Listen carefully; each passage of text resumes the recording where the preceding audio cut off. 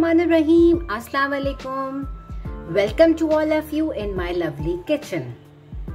मैं अपने चैनल पे इस पूरा वीक ईद स्पेशल प्रेजेंटिंग कर रही हूँ, जिसमें हम कुछ बनाएँगे नमकीन और कुछ बनाएँगे मीठा तो जनाब, मज़े मज़े की रेसिपीज़ जानने के लिए मेरे चैनल को जल्दी से सब्सक्राइब करिए और बेल आइकन के बटन को ज़रूर प्रेस करिए, ताकि आप हर नई रेसिपी की वीडियो फ़ौरन देख लें तो चलिए रेसिपी स्टार्ट करते हैं। आज हम बनाएँगे मज़ेदार से रेशे वाले शामी कबाब।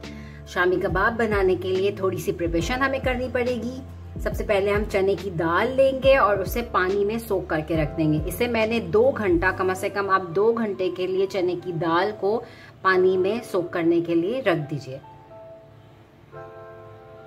हम, यहाँ मैंने दो मीडियम साइज़ की अनियंस ली हैं, उसको मैंने बस ऐसे ही चॉप कर लिया। यहाँ मैंने मीट लिया है, उसकी बोटियाँ, इस तरह से उसकी बोटियाँ ले ली ताकि हमें, हमारा जो कब, शामी कबाब का कीमा है वो रेशे वाला बने। ठीक है जनाब? हम क्या करेंगे? हम एक पॉट लेंगे, उसके अंदर पहले हम मीट डालेंगे। की दाल डालेंगे, जो मैंने सोख करके रखी थी दो घंटा पहले।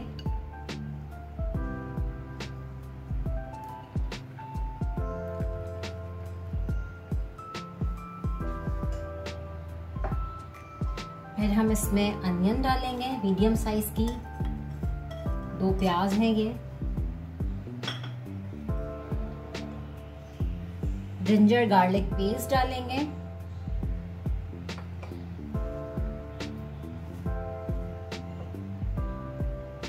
यहाँ मैं थोड़ी सी बिल्कुल थोड़ी सी जवेत्री डालूँगी। ये रेड चिली डालूँगी।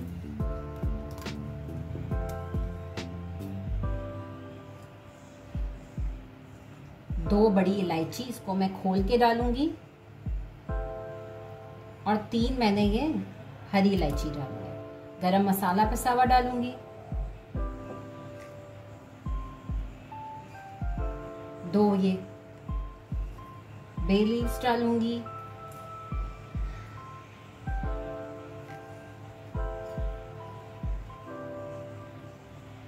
धनिया पाउडर, हल्दी और ये जीरा। ये तीनों चीज़ें इसमें जाएँगी। बहुत मज़े के शामी कबाब बनते हैं। आप ज़रूर ट्राई करिएगा। तीन कप पानी।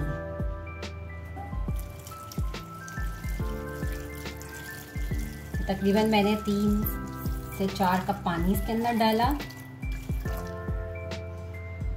इसको करेंगे मिक्स। और मैं अपने प्रेशर कुकर को बंद कर दूँगी। अच्छा प्रेशर कुकर अगर आपके पास 10 मिनट में गोश्त गलाता है तो आप उसको 10 मिनट तक और पकाएँगे। ठीक है, ताकि हमारा गोश्त, इसके अंदर हमें, हमारा गोश्त जो है वो बिल्कुल गल जाए, दाल हमारी बिल्कुल गल जाए। इसलिए हम इसे नॉर्मल जो टाइमिंग है, उसे थोड़ा सा ज़रा ज़्यादा देर तक पकाएँगे। पानी डाला, उसे मिक्स किया, और सबसे आखिर में मैं डालूँगी नमक। नमक आप अपने हिसाब से कम ज़्यादा कर सकते हैं। ठीक है, इसे मिक्स करेंगे और इसे अब हम पकने देंगे। अपने प्रेशर कुकर को कर दिया है बंद। 20 मिनट के बाद इसे मैं खोलूँगी। जनाब 20 मिनट गुजर गए हैं। अब मैं अपने प्रेशर कुकर को ओपन करूँगी। देखिए, दाल इसके अंदर मुकम्मल तौर पर गल चुकी है। और गोश्त की बोटियाँ भी अच्छी खासी गल गई हैं, लेकिन इसमें पानी अभी रहता है। हम इसे मीडियम फ्लेम पर पकाएँगे, इसका पानी खुश्क करेंगे और साथ साथ इसमें चमचा चलाते रहेंगे। इसके जो इंग्रेडिएंट्स हैं, उसको हल्का हल्का सा प्रेस करते रहिए। जैसे जैसे पानी खुश्क होता रहेगा वैसे वैसे ये चीज़ें भी और मज़ीद गलती रहेंगी। और ये हमारा वन पॉट शामी कबाब कीमा तैयार हो जाएगा। देखिए जनाब हमने कीमे में दाल डाली थी प्याज डाली थी आ, साबुत लाल मिर्च डाली थी। अब आप देख रहे होंगे सब चीज़ें तकरीबन इसके अंदर मिक्स हो चुकी हैं और गल चुकी हैं। हमें इसमें कुछ भी नहीं दिख रहा। बस सिर्फ़ अब क्या करना है इसका थोड़ा सा जो पानी है वो जैसे जैसे खुश्क होगा ये और मज़ीद रेशे वाला बनता चला जाएगा।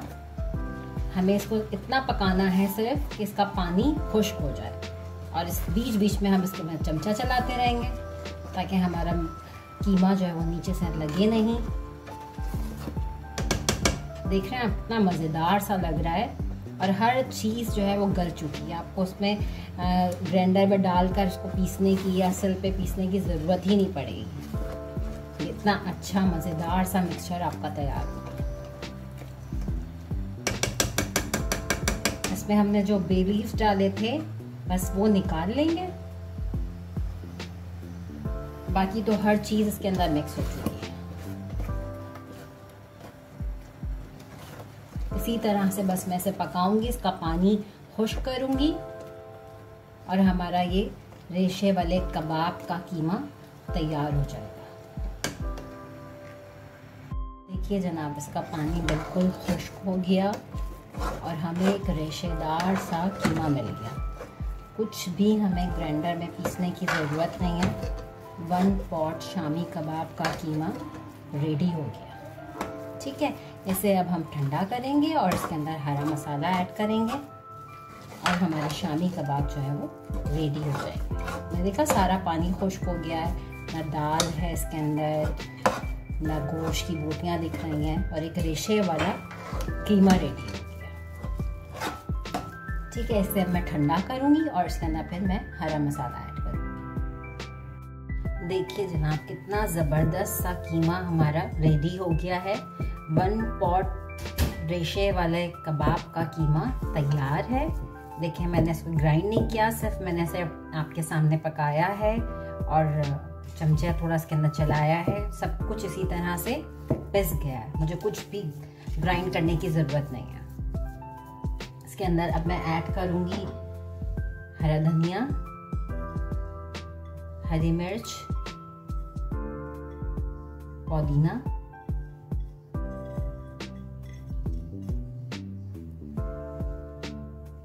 ये सब चीज़ें मैं ऐड करूँगी इसके अंदर। थोड़ा सा इसे मिक्स करेंगे हम। अच्छा सा मिक्स करिए। मज़ेदार सी शामी कबाब की खुशबू अभी से मुझे आ रही है। देखें कितना ज़बरदस्त तैयार हुआ है।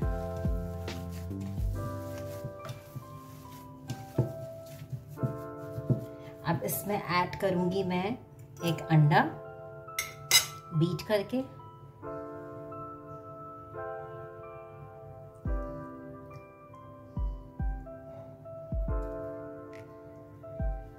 ठीक है, इसे भी हम अच्छा सा मिक्स कर लेंगे।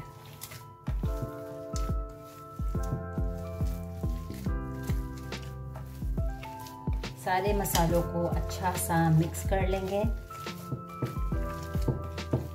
देखिए, कितना ज़बरदस्त सा कीमा तैयार हुआ है। आज से पहले इतना आसान था, शामी कबाब बनाना।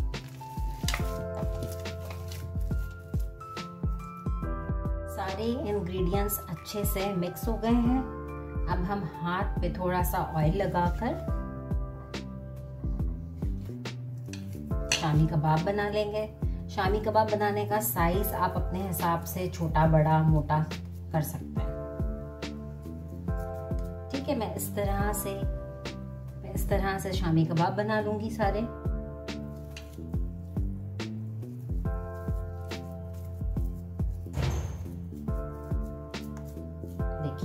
कितने ज़बरदस्त शामी कबाब बन रहा है।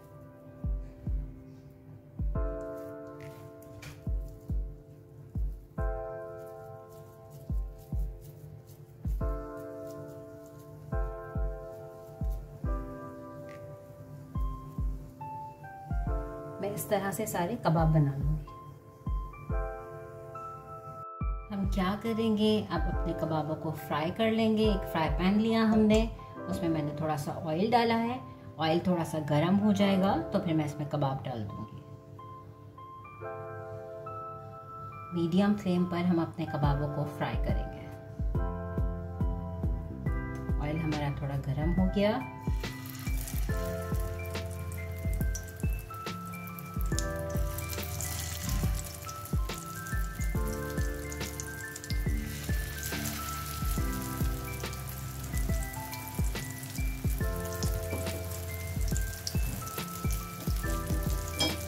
वन साइड हमारी थोड़ी गोल्डन ब्राउन हो जाएगी तो अब इसे हम टर्न करेंगे।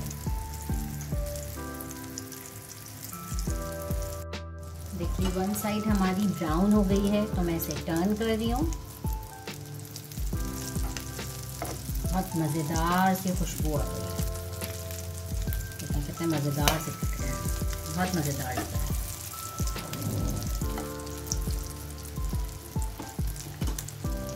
इसी तरह दोनों साइड जब हमारी गोल्डन ब्राउन हो जाएगी तो हम इसे डिश आउट कर लेंगे। कबाबों की दोनों साइड गोल्डन ब्राउन हो गई है। और आप देख रहे होंगे कि इसके ऊपर कितनी अच्छी सी एक क्रिस्पी सी लेयर आई है। बस अब इसे मैं डिश आउट करूँगी। मज़ेदार से रेशे वाले shami kebab is ready to serve ज़रूर ट्राई कीजिएगा, अपना फीडबैक दीजिएगा रेसिपी पसंद आए तो थम्स अप कीजिएगा। स्क्रीन पर कैरी की चटनी और कैरी और कड़ी लीफ की चटनी का लिंक डिस्प्ले हो रहा है। दोनों रेसिपीज़ को ज़रूर देखिए। शामी कबाब के साथ ट्राई करिए। अपना और अपने प्यारों का बहुत ख्याल रखिए। फिर मुलाकात होगी एक नई और ज़बरदस्त रेसिपी के साथ। जब तक के लिए फ़ी अमान अल्लाह